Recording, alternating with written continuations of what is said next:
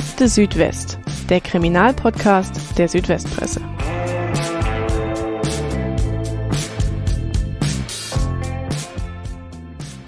Es soll das perfekte Verbrechen werden. Keiner soll ahnen, dass der spießige Chemielehrer seiner Frau über Jahre hinweg Gift ins Essen mischt. Ein unheilbarer Leberkrebs soll die nichtsahnende Gattin hinwegraffen. Auch die Klinikärzte sollen von dem tückischen Stoff nichts bemerken. Dann wäre der Weg frei, frei für ein neues Leben mit der neuen Liebe. Doch der Täter ist sich seiner Sache wohl zu sicher. Kurz vor dem Ziel machte er einen schwerwiegenden Fehler. Als die Frau schon todkrank in der Klinik liegt, erkundigt er sich einmal zu oft nach dem tödlichen Brombeerkompott. Er wird verhaftet und an seinem Gymnasium in Ulm platzt sprichwörtlich die Bombe. Im Mai 1977 beginnt für die Öffentlichkeit die Geschichte des Brombeermörders von Ulm. Ein Fall, der Kriminal- und Medizingeschichte schreibt. Sie hören Akte Südwest, den Kriminalpodcast der Südwestpresse. Mein Name ist Roland Müller und heute geht es, zumindest für mich, um eine ganz besondere Folge. Denn ich weiß, das sagen wir öfter, aber heute geht es um den Fall, der sozusagen Akte Südwest begründet hat. Also den Auslöser, warum wir das alles hier überhaupt machen. Und deswegen freue ich mich, dass es jetzt endlich klappt. Wir haben heute auch zwei Gäste hier, die beide wirklich nah dran waren am Brombeermörder. Sogar ein bisschen näher, als ihnen selber lieb war. Das erklären wir dann gleich. Und das auch, obwohl die Geschichte schon 44 Jahre her ist. Und das ist einmal mein Kollege Helmut Pusch. Hallo Helmut. Hi. Helmut war viele Jahre Kulturredakteur der Südwestpresse hier in Ulm. Er ist auch Komponist und Musiker. Und unsere eher rudimentäre Aufnahmetechnik, also der konnte sich ein paar Bemerkungen nicht verkneifen vorher. Helmut, wie alt warst du denn im Jahre 1977 und warum hast du den Fall denn so eng verfolgt? Äh, ich war damals 19, also ich war in der 12. Klasse und ich habe den Fall deswegen sehr intensiv verfolgt, weil er eine Vorgeschichte hatte. Und eine, Vor eine sehr unerfreuliche Vorgeschichte, aber die erzähle ich nachher. Also wir können so viel verraten, du kanntest den Täter. Äh, ich muss sagen, er war damals der meistgehasste Mann für mich. Miterlebt hat das aus der ersten Reihe sozusagen auch unser zweiter Gast, äh, Jo Weißmann. Das ist auch für uns jetzt eine Premiere. Zum ersten Mal haben wir bei Akte Südwest einen leibhaftigen Polizeikommissar, wenn auch außer Dienst inzwischen oder in, in, Ruhestand. Hallo Jo, herzlich willkommen. War denn der mörderische Chemielehrer ausschlaggebend für deinen Berufswunsch, Polizist zu werden? Hallo.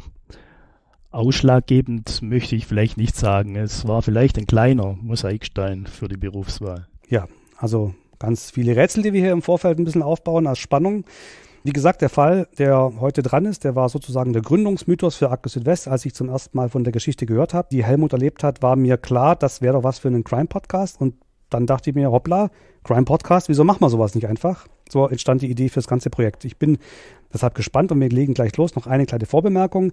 In den alten Artikeln aus unserem Zeitungsarchiv aus den 70ern werden die vollen Namen von Täter und Opfer stets ausgeschrieben. Damals war das nicht so ungewöhnlich. Das waren irgendwie noch ein bisschen robustere Zeiten. Heute sind wir sensibler geworden.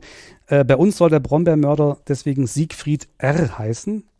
Falls uns aber im Eifer des Gefechts doch mal der volle Name rausrutscht, nicht wundern, dann piepen wir das drüber in der Bearbeitung. Diese Folge wird von der Systemhaus Ulm GmbH präsentiert, eurem Partner für IT-Dienstleistungen, Applikationsentwicklung und Cybersicherheit. Viele von euch arbeiten zurzeit wahrscheinlich im Homeoffice. Aber habt ihr gewusst, dass die Arbeit in den eigenen vier Wänden zum Krimi werden kann? Im Netz sind wir vielen Gefahren ausgesetzt. Das stellt vor allem kleine und mittelständische Unternehmen vor neue Herausforderungen. Wie ihr die Remote-Arbeit richtig absichern könnt und euch gegen Cyberangriffe wehrt, verraten euch die IT-Experten von der Systemhaus Ulm GmbH. Beim Arbeiten von zu Hause nutzt ihr Netzwerke, die nicht vom Unternehmen kontrolliert werden. Deshalb ist es wichtig, die Leitung in die Firma und den Zugriff auf Unternehmensdaten möglichst möglichst sicher zu gestalten. Besonders häufig kommen Cyberattacken vor, bei denen Kriminelle gezielt versuchen, ihre Opfer zu täuschen. Zu Hause sind Mitarbeiter dafür oft anfälliger. Statt bei einem Verdacht geschulte Kolleginnen und Kollegen um Rat zu fragen, treffen Angestellte oft eigene Entscheidungen, im schlimmsten Fall die falschen. Wie ihr eure Arbeitsplätze zu Hause und in der Firma wirkungsvoll absichert, erfahrt ihr auf www.systemhaus-ulm.de. Ja, Helmut Jo, besonders am heutigen Fall ist ja auch, dass er so irre lang her ist. Er spielt in den 70er Jahren. Die ersten Artikel stammen aus dem Jahr 1977, als das also alles bekannt wurde. Das ist das Jahr, in dem Elvis Presley starb, die erste Folge von Star Wars im Kino läuft. Der Bundeskanzler hieß damals Helmut Schmidt. Der Terror der RAF beherrscht die Schlagzeilen und der deutsche Herbst steht noch kurz bevor, als das alles passiert. Nehmt doch unsere Hörerinnen und Hörer mal ein bisschen mit in diese bewegte Zeit. Ähm, wie sieht das Leben, wie sieht euer Leben in Ulm damals ungefähr aus und wieso habt ihr denn mit dem Brombeermörder zu tun gehabt? Also eigentlich für, hat für uns die Geschichte, die, die Hauptgeschichte für Jo und mich eigentlich 1975 gespielt. Da waren wir in der 10. Klasse. Und die Zeit war eine völlig andere. Es gab noch eine ganz gerüttelt Maß an Menschen, die noch eine Vergangenheit hatten im Dritten Reich, die sich auch ein bisschen suggeriert haben, auch als Lehrer, noch sehr, sehr, sehr, sehr autoritär waren. Und da, da haben wir natürlich was dagegen gehabt. Das fanden wir gar nicht toll. Die waren halt aufmüpfig und, und ja, kann man so sagen, jo, oder? Ja, das war so die Zeit, wo man äh, so versucht hat, mal mit alten Zöpfen abzuschneiden. Ja. Wir haben uns schon versucht zu wehren, haben uns nicht mehr alles gefallen lassen von Lehrern.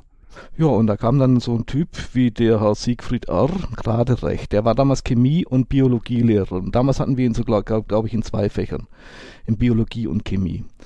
Und dieser Herr begann irgendwann am Anfang des Schuljahres der 10. Klasse, alle Leute, die nicht beim Klingeln auf dem Platz saßen, auszusperren. Die durften gar nicht reinkommen, die wurden draußen auf den Gang gestellt und äh, dann abgehört.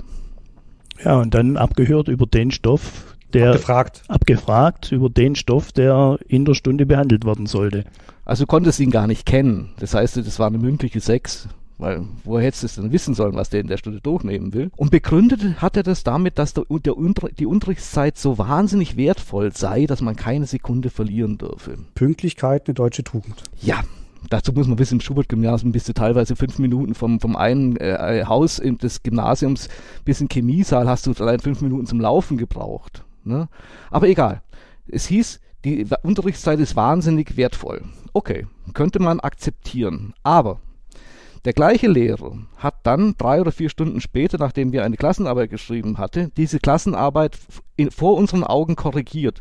Wir hatten still zu arbeiten und er hat das, was eigentlich zu Hause, wofür auch bezahlt wird, dass es zu Hause tut, nämlich die Korrektur vor uns gemacht. Da bist du hat es natürlich einen Halt. Das, das hast du natürlich nicht ertragen. Vor allen Dingen nicht ertragen als Jugendlicher, der eigentlich an Gerechtigkeit und eine bessere Welt geglaubt hat. Man muss den Leuten heute vielleicht nochmal sagen, damals hatten wir nicht das Gefühl, dass irgendwas schlechter wird, so wie heute die jungen Menschen. Die glauben, sie können ihre Rente nicht mehr erleben, keine Häuser. Wir sahen das alles optimistisch. Wir wollten Teil dieser ganzen Geschichte sein. Wir wollten das alles ein bisschen toller machen. Und dann kommt so ein Typ an und ist so willkürlich und lässt dich einfach abfahren und das also wirklich mit einer, mit einem Gestus, der hat dich richtig klein gemacht. Er ist die Macht, er hat die, er hat die Macht und, und ihr, ihr, ihr Zwerge, euch mache ich klein. Das hat bei uns natürlich auch zu einem gewissen Aufstand geführt. Ne? Wir waren gewillt, das so nicht zu dulden. Jo. Haben uns dann auch an verschiedene Schulgremien gewandt, aber das hatte wohl nicht so arg viel Erfolg. Also wir halten fest, ihr besucht beide damals das Schubert-Gymnasium in Ulm, 10. Klasse. Der Chemielehrer heißt Siegfried R. Er ist Fachleiter für Chemie, er ist Oberstudienrat, er ist 48 Jahre alt, also hat natürlich persönlich jetzt wahrscheinlich keine große, also rein rechnerisch, keine Vergangenheit im Dritten Reich, nur dass es mal klargestellt ist, aber gedanklich vielleicht noch. Da hätte er gut reingepasst. Und er ist, sagen wir es mal vorsichtig, nicht der beliebteste Lehrer aller Zeiten. Was ist denn noch so alles vorgefallen? Ja, also nachdem äh, die Schulgremien uns nicht zugehört hatten, weil wir gesagt haben, so viel Willkür geht gar nicht. Also und auch die auch die Noten, die da rauskamen. Du hattest natürlich, jeder hatte, der der der nicht auf dem Platz saß, hatte mindestens eine mündliche Sechs. Also es gab eine ganze Leute, ganze Menge Leute in der Klasse, die hatten fünf oder sechs Mal wurden die abgehört, eben oder eben nicht abgefragt, weil sie es ja nicht wussten. Das war ja dann schnell beendet. Der hat eine Frage gestellt, drei Fragen gestellt und keiner wusste eine Antwort und dann waren die die die die, die Leute natürlich gleich ab, absolviert. Ja, was dann halt vorgefallen ist und vielleicht auch so für uns so das Entscheidende war, er hat dann wirklich versucht, äh, oder nicht versucht, er hat es gemacht, er hat Schüler bestimmte Dinge probieren lassen, hat dann gelacht und gesagt, das war jetzt Harnstoff. Oder einmal, weiß ich noch genau, da hat er so eine 2-Liter-Flasche Lambrusco gehabt, fragt den Schulkamerad von mir, äh, darf man da mal einen Schluck nehmen? Oh, gerne. Und dann sagt er so, das war Schweineblut. Und als diese Dinge dann aufkamen, haben wir irgendwann gesagt, also jetzt ist es gut, das hat wirklich nichts mehr mit Unterricht, auch in der Zeit, wo es vielleicht alles noch ein bisschen lockerer war. Heute kann man sich so Dinge ja gar nicht mehr vorstellen. Es gab dann, glaube ich, eine Beschwerde, hast du schon gesagt? Ja, wir haben versucht, uns zu beschweren. Hat nicht funktioniert und nee. dann habt ihr andere Mittel eingesetzt. Ja, dann haben wir zum, zum Mittel der Öffentlichkeit gegriffen. Immer gut. Und zwar, äh, ich weiß nicht mehr, wie viele Flugblätter damals erschienen sind, aber es waren mehrere. Wir haben da äh, Schützenhilfe bekommen vom, wie war, war das, marxistisch-leninistisch? Im LPD, marxistisch-leninistische Partei Deutschland. Also es waren ältere Schüler aus der Abitursklasse, die haben natürlich gleich... Aber das wussten wir an sich nicht, dass das in die Richtung Politik läuft. Eben. Ne? Und dann war natürlich an der Schule die Hölle los. Ja, also diese Verfehlungen und die, die Dinge, die äh, der Herr gemacht hat, waren also bekannt. Da wurden, ich weiß nicht, tausende Auflagen Flugblätter verteilt, am Hauptbahnhof, an der Schule, äh, äh, wie auch immer. Äh, es wurde auch, da, es wurde auch ermittelt, wer denn der Urheber sei. Da stand dann drunter im äh, Sinne des Urheberrechts ähm, Ilyich Ulyanov also Lenin, äh, äh Söflinger Straße 347. Ich glaube, also uns wurde damals gesagt, die Polizei habe wirklich versucht, den Herrn Ulyanov dort zu verhaften. Aber es war natürlich es war natürlich witzig, es waren, waren aber äh, es war natürlich wirklich so, dass es ganz ernsthaft danach recherchiert wurde, wer, wo, woher diese, diese Flugblätter kamen. Ne?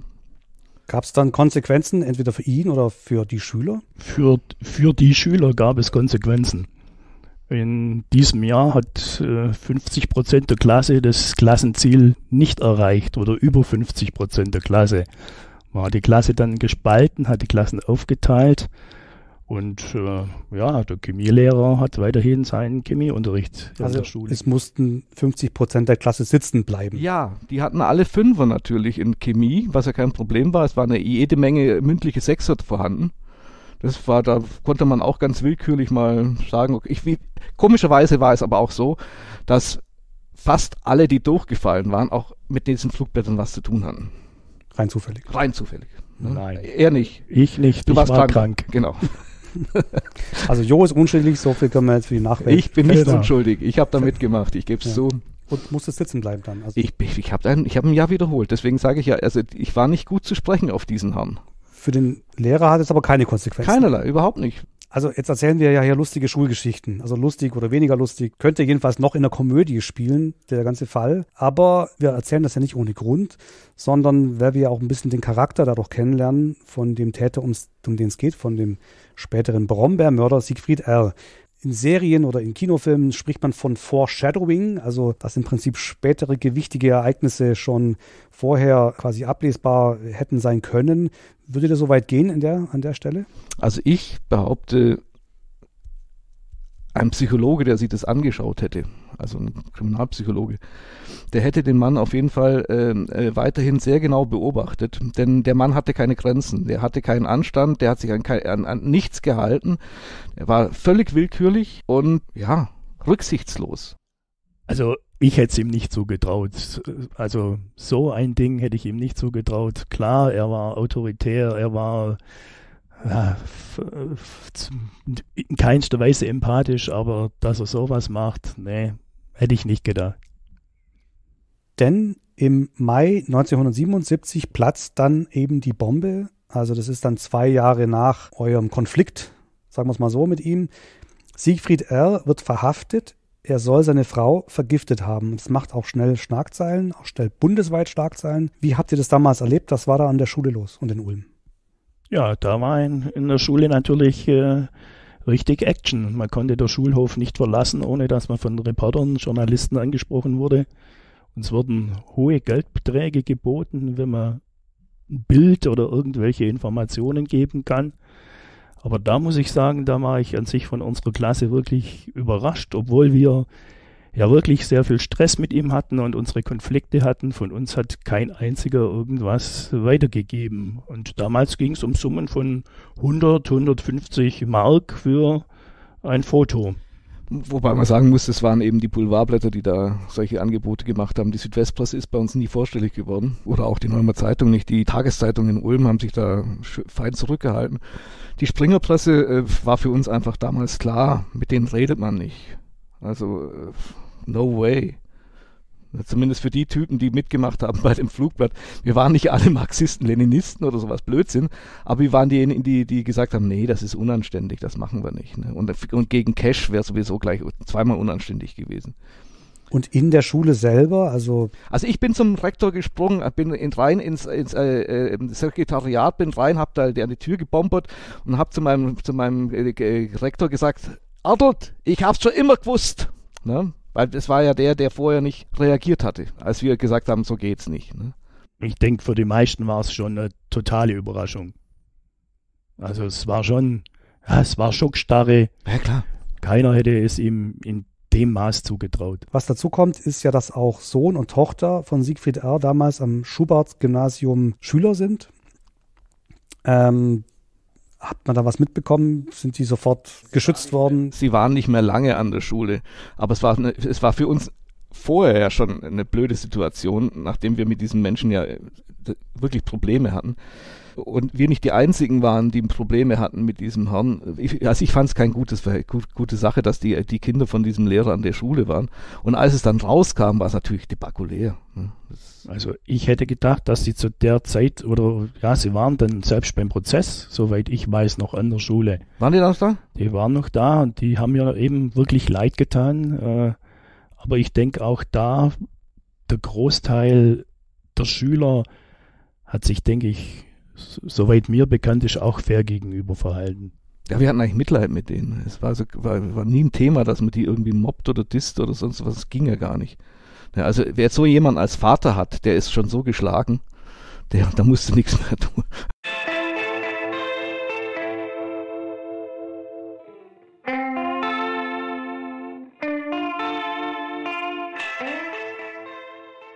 Wir haben uns ja jetzt ein bisschen von außen dem Fall angenähert. Jetzt wollen wir langsam ins kriminalistische Detail einsteigen und das auch nach und nach erzählen. Vielleicht fangen wir an mit dem Moment, an dem alles aufliegt. Das ist also die Ausgangssituation. Lehrer Siegfried R., 48. Er hat eine vier Jahre jüngere Frau. Sie heißt Ingeborg. Die beiden haben zwei Kinder, haben wir schon erwähnt. Die Ehe, sagen wir mal, ist alles andere als harmonisch. Darauf kommen wir noch. Und Ingeborg R. laboriert seit ein paar Jahren an einer Leberkrankheit, sagen wir mal einer rätselhaften Leberkrankheit. Es geht ihr nicht sehr gut und sie ist zum wiederholten Mal an der Ulmer Uniklinik, deswegen in Behandlung. Was passiert nun, dass wir vom Brombeermord sprechen? Also wie wir dann damals eben auch aus der Presse erfahren haben, ist die Frau in der Uniklinik gelegen. Ihr Mann hat sie öfters besucht und im Rahmen eines dieser Besuche hat ihr auch Brombeerkompott mitgebracht. Der Frau ging es dann nach dem Genuss von etwas Brombeerkompott schlechter und ihr fiel dann wohl auf, dass die Nachfragen immer, wie war denn das Brombeerkompott, wie hat es geschmeckt, wie war das? Und da kam ihr wohl ein gewisser Verdacht und sie hat dann Verwandte von ihrem Verdacht äh, unterrichtet und die sind dann mit diesem Brombeerkompott zu einem Labor gefahren, zur Rechtsmedizin nach Tübingen und haben es dann dort eben untersuchen lassen. Wobei die nichts gefunden haben erstmal. Aber vor, äh, vorbeugenderweise, um zu gucken, ob das irgendwie giftig ist, hat der Rechtsmediziner Ratten dieses Brombeerkompott gegeben und die waren am nächsten Morgen alle tot. Alle Ratten, die davon gegessen hatten, waren tot. Die hatten aber sechs Wochen lang, glaube ich, zumindest hat es uns dann der Nachfolger von dem Herrn R. Der, der Chemielehrer, der uns danach unterrichtet hatte, dann erzählt. Die hatten, sollen wohl sechs Wochen lang gesucht haben nach der Substanz, weil diese Substanz damals zwar bekannt war, aber nicht äh, als Gift bekannt war. Und äh, das, dieses Gift war auch damals sehr dubios, wurde erst nur N genannt und niemand durfte wissen, wie es heißt. Heute weiß man es und das, äh, das war Nitrosamin, das war ein Nitrosamin. Nitrosamine sind ja eine ganze, ganze Familie. Und was man damals wusste über Nitrosamin, das stand 1976 im Bundesumweltgutachten.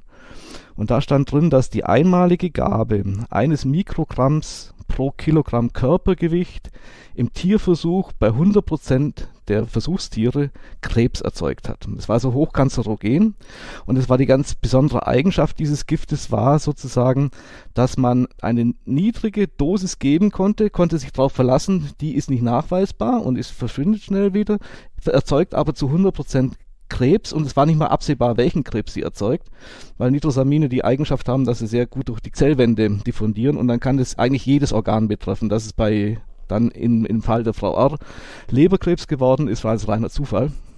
Aber was kein Zufall war und was der Herr R wusste, dass äh, nämlich diese einmalige Gabe von dieser, von dieser leicht, äh, leichten Dosis, also chronisch toxischen Dosis, nach mehreren Monaten schlichtweg Krebs erzeugt. Sein Problem war gewesen, er konnte nicht warten, hat dann eine akuttoxische Dosis in das Brombeerkompott hineingemischt. Und wenn er sich nicht erkundigt hätte und die akuttoxische Dosis, die Ratten nicht dran gestorben wären, wäre es das perfekte Verbrechen gewesen. Durch den Tod der Ratten hat das Gerichtsmedizinische Institut eben festgestellt, ist wohl Krebs, hat dann sich mit Heidelberg in Verbindung gesetzt und in Heidelberg konnte man das Gift dann wohl nach längeren chemischen Untersuchungen dann wirklich auch benennen. Genau, es gibt da einen ganz interessanten Bericht des Tübinger Gerichtsmediziners, der hat da 20 Jahre später einen Fachartikel darüber geschrieben, den man auch noch online findet. Und tatsächlich beschreibt er eben, wie er die beiden Frauen, die da bei ihm auftauchten, erstmal nicht so richtig ernst genommen hat, aber dachte er, gibt's halt mal den Mäusen oder Ratten und dann waren sie tatsächlich innerhalb von wenigen Stunden tot. Und tatsächlich wohl einmal oder ein paar Mal zu oft nachgefragt. Das war dann der entscheidende Fehler, von dem ich vorher gesprochen habe. Und was wir an dem Punkt auch sehen, ist, dass sein Job als Chemielehrer ja wohl auch eine Rolle gespielt hat bei der ganzen Tat. Ja, äh, nach, nachdem wir dann erfahren hatten, also ein Jahr oder ein halbes Jahr nach dem Prozess, dass es jetzt Nitrosamin war, erinnerte ich mich an eine Geschichte, die 1975 oder 74 der Fall gewesen sein muss. Ich weiß es nicht, ob es im Biologie oder im Chemieunterricht war. Aber auf jeden Fall, da hat der, da, da ging es um Nitrosamine und ich glaube, ich, ich, weiß es jetzt nicht, aber ich kann mir gut vorstellen, dass es so eben ebenso chemisch kam wie, ja, Nitrosamin ist ein giftig und ihr stopft das in euch rein. Äh, Hawaii-Toast, äh, Pizza, Dazu muss man wissen, dass also Nitrosamine dadurch entstehen, dass, Nitrito, dass mit Nitratsalz gepökelte Lebensmittel, sprich Schinken, beim Erhitzen sich zu Nitrit reduzieren und zusammen mit den, mit den ungesättigten Fettsäuren aus dem Käse, aus den Fettsäuren aus dem Käse, Nitrosamine bilden das war dann was Thema damals gewesen. Und dann sagte er noch, und das Zeug ist so giftig, dass beim Unfall bei BASF eine Leitung undicht war, da oben ein Tropfen Nitrosamin einem Arbeiter auf den Kopf gefallen sei. Und allein durch die, durch, durch die, die Berührung mit der Haut sei der Mann innerhalb von einem Tag verstorben. Also die akut, akut toxische Dosis. Was dann bei dem Prozess auch noch rauskam, dass er wohl über eine Fachzeitschrift, die er als Chemielehrer, äh, Fachbereichsleiter auch hatte, Artikel darüber gefunden hat, über krebserregende Substanzen. Und was dann später auch rauskam, dass er dieses Gift über den Schuletat äh, besorgt hat. Also die Zeitschrift und das Gift. Das Know-how, also unglaublich. Genau, also über die Schule das tödliche Gift besorgt. Und das heißt ja aber auch mit der Vorgeschichte, dass die Erkrankung der Ehefrau schon 1975 begonnen hat, dass das eben nicht der erste Fall war mit dem Brombeerkompott, der Kompottanschlag, wenn man so möchte, das Kompott-Komplott, sondern das schon Jahre vorher begonnen hat. Besonders perfide an diesem, an diesem Verbrechen ist. Er hatte, nachdem er wusste, wie äh, krebserregend äh, dieser Stoff ist, hat er ihr sozusagen die krebserregende Dosis offensichtlich beigebracht, konnte dann aber nicht warten und hat dann nochmal nachgelegt. Also eigentlich hätte es gereicht. Wie gesagt, hätte er in 1975 diese, diese chronisch toxische Dosis verabreicht und hätte dann einfach in aller Seelenruhe abgewartet, bis seine Frau gestorben ist, wäre niemand auf die Idee gekommen, dass die Frau äh, keines natürlichen Todes gestorben ist. Also medizinische Untersuchungen damals bei der Ehefrau haben wohl ergeben, dass diese Substanz mehrmals gegeben worden sein muss. Man spricht so von drei bis vier Mal. Ja, Jo, damals warst du auch 19. Hast du dann später als Polizist nochmal so einen ähnlichen Fall erlebt, der so ähnlich spektakulär war? Oder war das Highlight der Kriminalistik dann schon vor der Polizeikarriere? Das Highlight der Kriminalistik war vor der Polizeikarriere, muss man so sagen, wenn man das alles so betrachtet, wie das alles abgelaufen ist, wie das gegangen ist, mit welcher, ja, ich muss schon sagen, Kaltblütigkeit das so abgelaufen ist. Ich habe einige Dinge erlebt in meiner aktiven Laufbahn, aber das äh, ne, war schon auch durch die Nähe natürlich eine ganz andere Geschichte. Und Giftmorde, wie häufig kommen die so generell vor im Polizeialltag? Also ich denke, äh, mir selber ist in meiner Karriere kein Giftmord bekannt. Der Fall ist ein besonderer. Um die genaue Substanz, um die es ging, äh, wurde damals ja ein großes Geheimnis gemacht. Es wurde im gesamten Verfahren nur Substanz N genannt, um das hat man gemacht, um, um Nachahmer äh, zu verhindern. Man hatte in den 50er, 60er Jahren Erfahrung gemacht mit dem Insektenvernichtungsmittel E605 und das wurde so zum Modegift. Andererseits muss man ja sagen, so frei verfügbar wie jetzt ein Insektenmittel im Baumarkt ist Nitrosamin auch nicht unbedingt.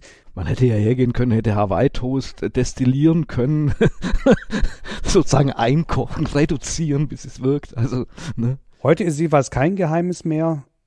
Nein, es war ja auch so, es war ja auch so, dass diese, diese Geschichte hatte ja auch Konsequenzen. Die Geschichte hatte äh, außerhalb dessen, dass jetzt kriminalistisch war, Konsequenzen. Es ist beispielsweise danach auch verboten worden, äh, Lebensmittel mit Nitritsalzen zu pökeln. Also äh, Nitratsalze äh, entsteht wesentlich weniger Nitrosamin und nach den Erkenntnissen, ob es jetzt die, der Giftmord war oder das, was im Bundesumweltgutachten 76 drin stand, weiß ich jetzt nicht. Aber danach gab es eine Rechtsprechung, dass die, dass das Pökeln von Lebensmitteln mit Nitritsalzen verboten wurde.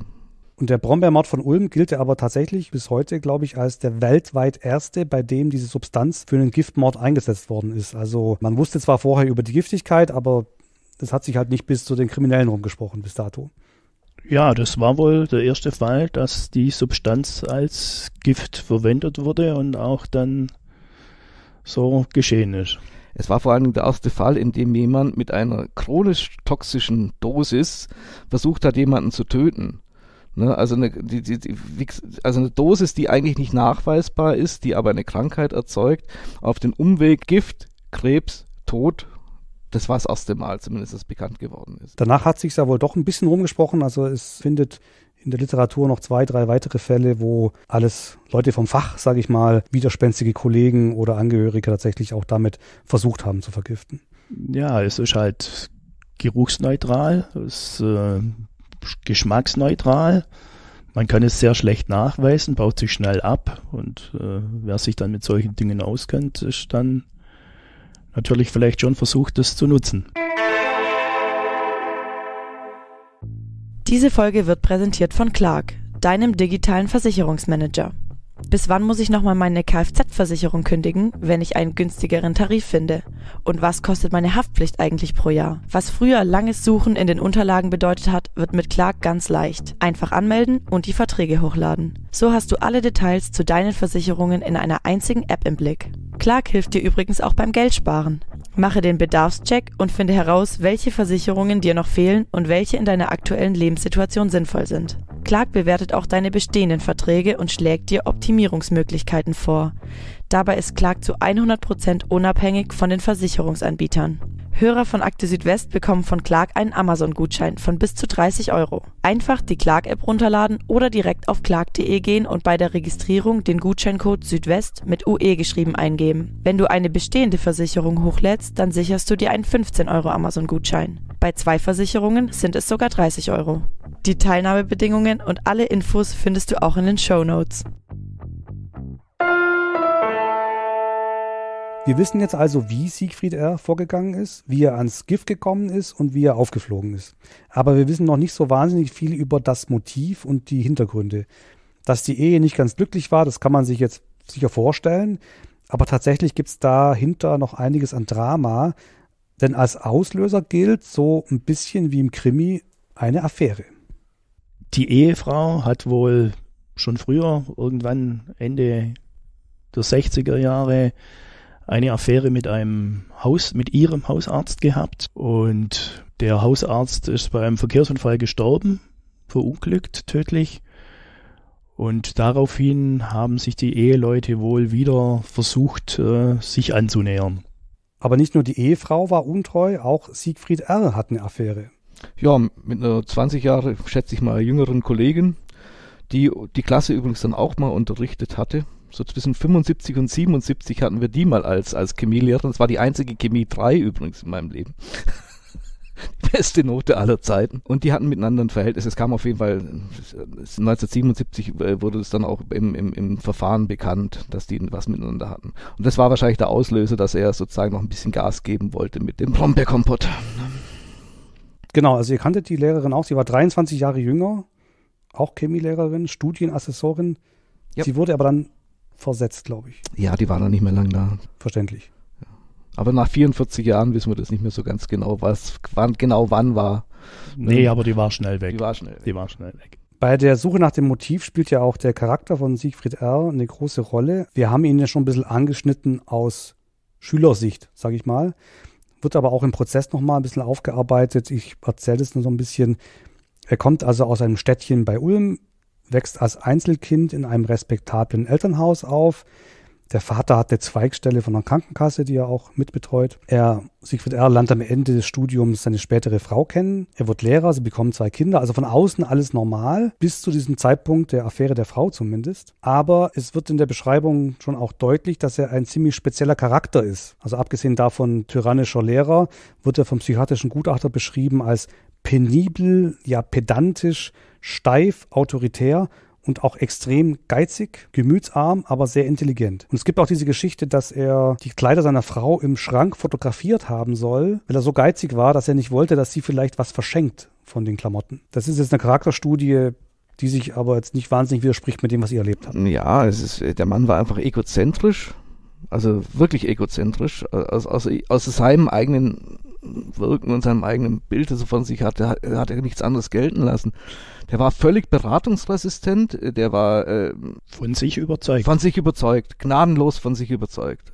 Ne? Und die anderen waren natürlich alle dümmer. Ne? Er war mit Abstand der cleverste. Und so haben wir jetzt im Prinzip auch schon die drei Hypothesen äh, erzählt, die fürs Motiv im Prozess dann angenommen wurden. Die erste Hypothese war gekränkte Eitelkeit wegen der Untreue. Als grandioser Mensch kann man sowas natürlich nicht dulden bahnfrei für die eigene Affäre, haben wir auch angeschnitten, dass dann er vielleicht etwas schneller ähm, die Ehefrau loswerden wollte. Und der, das dritte Motiv, der Mord, um die Kosten für die Scheidung zu sparen, wegen dieser extremen Geizigkeit. Das ist jetzt vielleicht nicht ganz so belastbar. Was haltet ihr für am wahrscheinlichsten? Kann man schlecht sagen. Also da möchte, mich, möchte ich mir echt kein Urteil drüber fällen, was da am wahrscheinlichsten ist. Ich denke, das ist eine Mischung von allem irgendwie gewesen.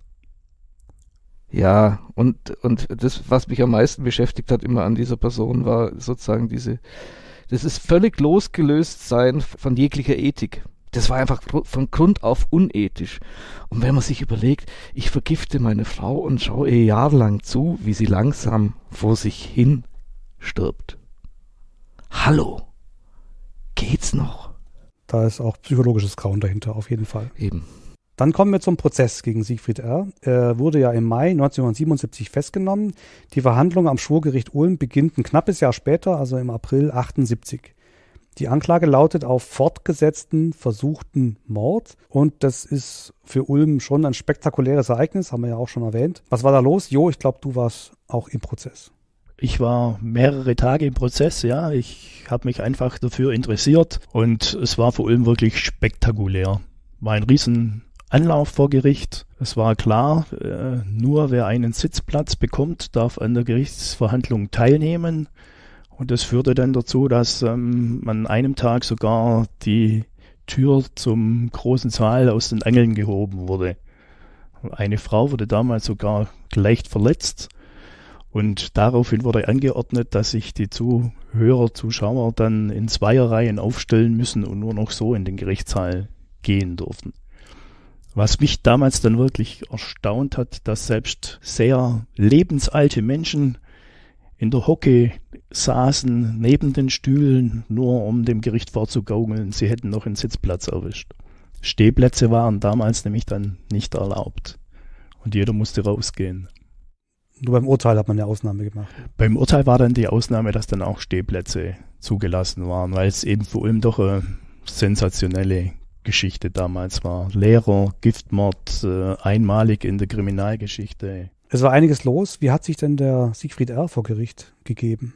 Oft saß er stillschweigend, äh, teilnahmslos da. Und bei der Ur Urteilsverkündung hat er am Schluss dann auch geweint.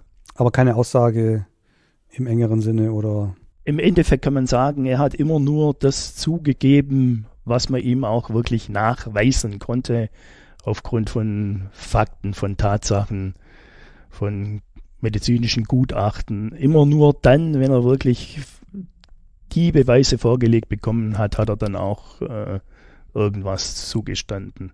Seine Verteidigungsstrategie äh, beruht ja darauf, zu behaupten, erstens, äh, er habe sie nicht ermorden wollen, es hätte nur ein Denkzettel sein sollen mit diesem Brombeerzeug. Er habe auch nicht gewusst, wie gefährlich das Gift sei, sondern halt nur also einen Streich spielen wollen sozusagen. Und auch von der schon erwähnten Affäre mit dem Hausarzt, ähm, fünf, sechs Jahre vorher, habe er erst zwei Tage vor dem Brombeeranschlag erfahren, also erst quasi wie ein Affekt tat. Sagst du, jetzt zahle ich es dir heim. Das hat sich alles als nicht so wahnsinnig schlüssig herausgestellt. Kann man das so sagen? Naja, ich meine, nochmal das Zitat aus dem Bundesumweltgutachten, wo drin steht, dass also diese eine Mikrogramm pro Kilogramm Körpergewicht in 100 Prozent der Tierversuche zu Krebs geführt hat. Da kann sich kein, das wusste der. Das war damals bekannt. Das hatte der 1975 in seinen Fachzeitschriften gelesen. Wie kanzerogen dieses Gift war. Da kann der sich nicht rausreden. Ich wollte ihr bloß einen, einen, Schuss vom Bug geben oder sonst was. Es war klar, dass diese Dosis, auch wenn er nachher noch ein paar Mal äh, nachgelegt hat, dass die Anfangsdosis eigentlich schon tödlich war. Ich denke aber, die Verteidigungsstrategie war an sich schon äh, logische Geschichte. Er hat ja am Anfang gesagt, er hat überhaupt nichts getan. Als er verhaftet wurde, hat er gesagt, ich habe überhaupt nichts unternommen, ich habe nichts getan, ich habe meine Frau nicht vergiftet.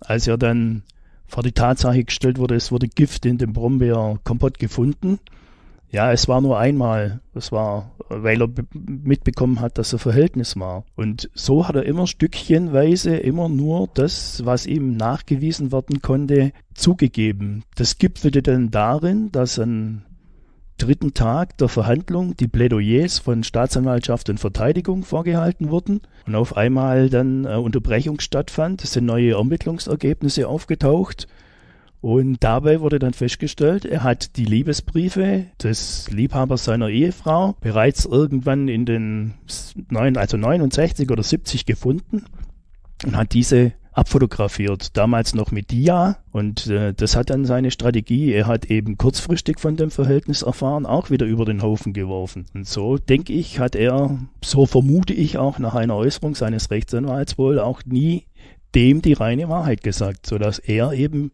gesagt hat, ja, Eifersucht, Drama, armer Mensch, man muss vielleicht mit ihm auch etwas Mitleid haben. Es war also in dem Moment klar, wo die Dias aufgetaucht sind, dass er schon seit mindestens fünf Jahren von dem Verhältnis wusste. Und es passt ja auch viel besser zu der pathologischen Untersuchung der Leber des Opfers, wo ja rauskam, sie hat das Mittel schon mehrfach vorher auch bekommen. So hat das Gericht das nachher dann bewertet, ja. Nach nur vier Prozesstagen ist das Spektakel dann auch schon vorbei. Das Urteil lautet auf lebenslange Haft wegen fortgesetzten versuchten Mordes. Heimtücke und Grausamkeit wurden als Mordmerkmale festgestellt. Der Angeklagte weint, das haben wir schon gehört. Eigentlich auch ein zwangsläufiges Urteil, wenn man es so zusammenfasst, oder? Es war damals äh, sensationelles Urteil. Bei versuchten Mord gibt es normalerweise Freiheitsstrafe. Man kann eine Freiheitsstrafe geben und ich glaube, das war in der Geschichte der Bundesrepublik das erste Mal, dass für einen versuchten Mord äh, lebenslänglich äh, vergeben wurde. Lebenslänglich wie für einen Mörder. Was ja wenige Monate später dann auch der Fall war. Die Frau ist ja gestorben. Es war nur ein Vorgriff. Wer hätte der Prozess ein Jahr später stattgefunden, wäre es vollendeter Mord gewesen. Wir haben ja schon öfter in diesem Podcast über die sogenannten Mordmerkmale gesprochen. Diesmal fällt vielleicht besonders die Heimtücke ins Auge bei dem, was wir alles so besprochen haben beim Vorgehen des Brombeermörders. Was man darunter versteht, das erklärt uns jetzt unser Kollege Moritz Klaus. Wenn ein Mensch von einem anderen mit Absicht getötet wird, ist eine Unterscheidung zentral. Und zwar die, ob es sich um Mord oder um Totschlag handelt. Für ein Mordurteil muss bei einer Tat mindestens eines der sogenannten Mordmerkmale vorliegen. Besonders bekannt sind da die niedrigen Beweggründe, zum Beispiel Habgier. Es gibt aber auch Merkmale, die sich nicht auf das Motiv beziehen, sondern darauf, wie die Tat begangen wurde. Dazu gehört zum Beispiel die sogenannte Heimtücke. Als heimtückisch gilt ein Tötungsdelikt, wenn das Opfer in der Situation wehrlos ist und keinen Angriff auf Leib und Leben erwartet und wenn der Täter das bewusst ausnutzt. Wer sein Opfer zum Beispiel im Schlaf erstickt, handelt in der Regel heimtückisch. Das gilt oft auch, wenn ein Mörder unvermittelt aus dem Hinterhalt angreift oder wenn er sein Opfer in eine tödliche Falle lockt. Und auch Morde mit Gift werden häufig als heimtückisch bewertet, da das Opfer eben nicht ahnen kann, dass im Essen oder im Getränk eine tödliche Gefahr lauert. Der Vorsitzende Richter wird in der Urteilsverkündung dann auch noch poetisch. Er zitiert ein Sprichwort, dessen Ursprung nicht ganz bekannt ist. Ich glaube, man nennt das eine Redewendung. Es ist nichts so fein gesponnen, es kommt doch an das Licht der Sonnen. So steht es in der Zeitung in unserem Archiv. Und äh, wir haben schon angesprochen, das Opfer, die Ehefrau Ingeborg R., ist ja während des Prozesses noch am Leben. Ihr Mann wird trotzdem wegen Mordes verurteilt.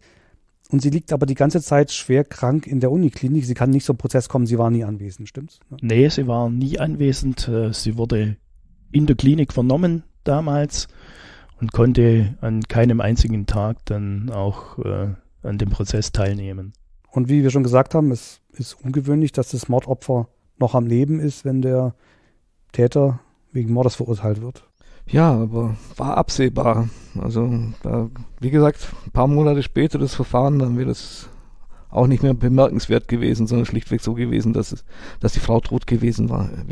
Also, also die Gutachter sagten damals schon, die Lebenserwartung ist sehr, sehr gering und sprachen dort schon, glaub nur vom halben Jahr bis Jahr. Also es war klar, dass die Frau unheilbar krank ist. Sie stirbt vier Monate nach dem Urteil im Juli 1978 und die Ärzte sagen auch, es war ein Martyrium. Also auch dem Mordmerkmal der Grausamkeit können wir hier dann, glaube ich, einstimmig zustimmen. Ja. Wir nähern uns dem Ende der Geschichte. Äh, ihr merkt's, liebe Hörerinnen und Hörer. Und viele werden sich jetzt fragen, was wurde aus Siegfried R.? Das weiß man in diesem Fall ziemlich genau, denn seine Lebenszeit ist auch kurz bemessen. Er stirbt schon sechs Jahre nach dem Urteil im Oktober 1984 an Magenkrebs im Alter von nur 55 Jahren. Aber vielleicht jetzt wenigstens zum Schluss ein bisschen was Versöhnliches. Die letzten Jahre im Gefängnis verbringt er einigermaßen sinnvoll. Ja, er hat wohl ein Modellprojekt entwickelt in der JVA und hat für die Insassen Unterricht gegeben, sodass sie ihren Hauptschulabschluss machen konnten.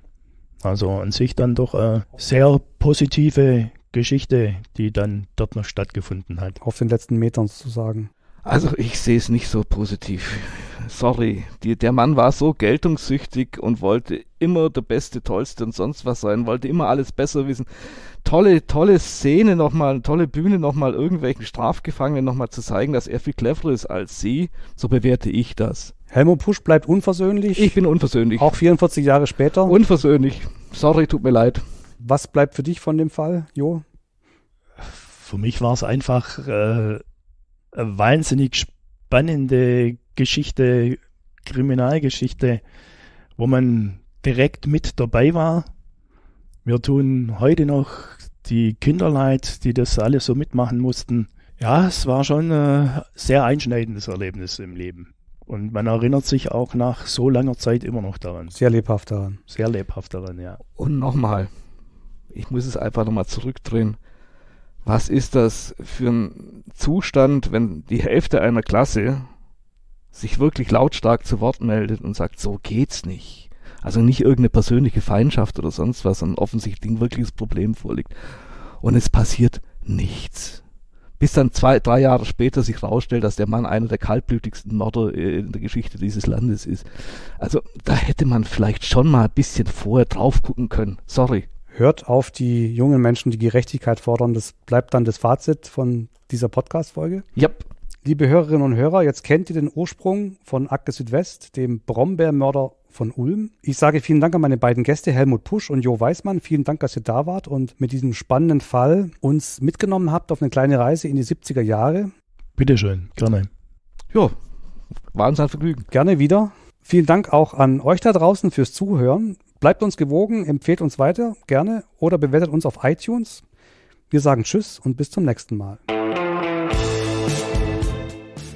Wenn ihr Feedback, Anregungen oder Ideen für Fälle habt, schickt uns gerne eine E-Mail an podcast.swp.de. Wenn ihr gar nicht genug bekommen könnt von spannenden Kriminalfällen aus The Land, so sagt man heute, dann schaut mal vorbei auf unserer Webseite unter swp.de slash crime. Dort gibt es nicht nur Infos zu unserem Podcast, sondern auch Artikel und Interviews rund um Verbrechen im Südwesten. Und ihr findet dort auch einen Newsletter. Wenn ihr den abonniert, verpasst ihr sicher nichts mehr von Akte Südwest.